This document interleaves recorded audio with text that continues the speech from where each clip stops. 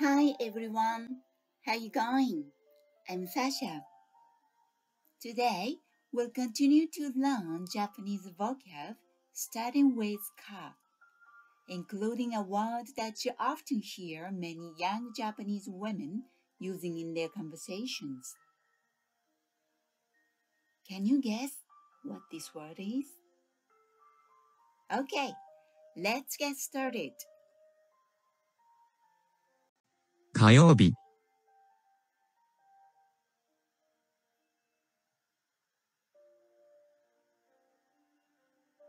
辛い、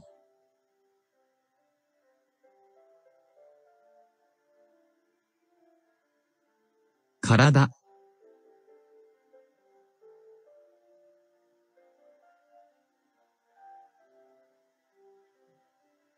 借りる、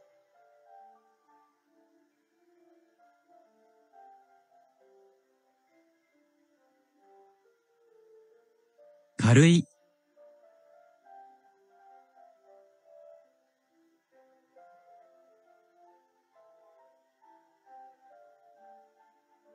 カレー、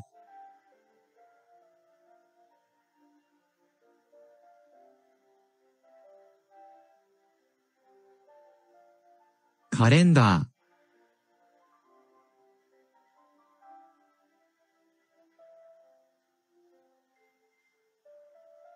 川、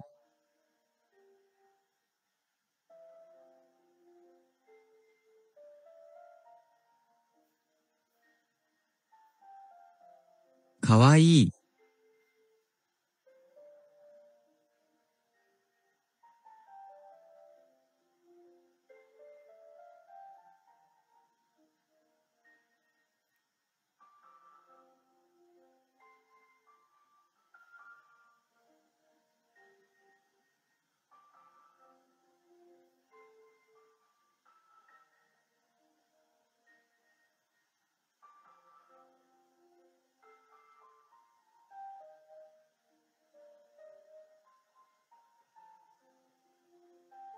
Alright, how did you go today?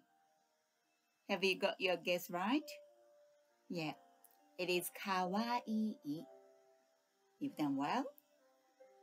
Okay, catch you later.